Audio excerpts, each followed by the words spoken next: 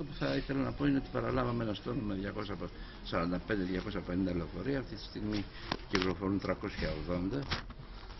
Εκτιμώ ότι έχει αρχίσει να γίνεται αίσθητο αυτό στην πόλη.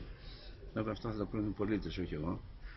Ε, τώρα, μία από τις επίσης πολύ μεγάλες προτεραιότητες μας ήταν να πληρωθούν οι εργαζόμενοι, γιατί χωρίς εργαζόμενους δεν μπορεί να λειτουργήσει το σύστημα.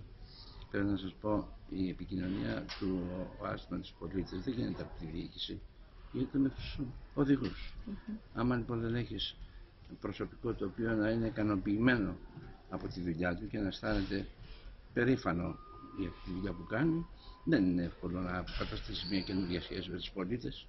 Θα πρέπει να σας θυμίσω αυτό που έχω πει και άλλη φορά είναι ότι υπήρχαν εργαζόμενοι που ήρθαν και μας είπαν ότι αισθάνονται ντροπή που δουλεύουν στο ΑΣΤ.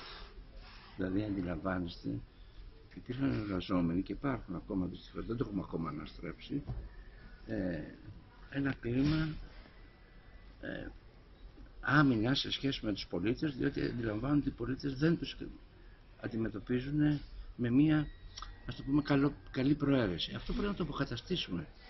Άμα δεν το αποκαταστήσουμε αυτό δεν κάνουμε τίποτα. Ό,τι και χρήματα να ρίξεις, ό,τι για... πρέπει να αποκαταστήσεις τη σχέση του εργαζόμενου στο ΑΣ με τον πολίτη. Mm Αυτό είναι η προτεραιότητά μας. Γι' αυτό και σας είπα προηγούμενα, ήδη ξοφλήσαμε τις ε, καταβολές των μισθών τους και βεβαίως έχουμε και πάρα πολύ να κάνουμε με τον ΑΣ, γιατί είναι μια τρύπα πάρα πολύ δύσκολη. Η τρύπα με φίδια.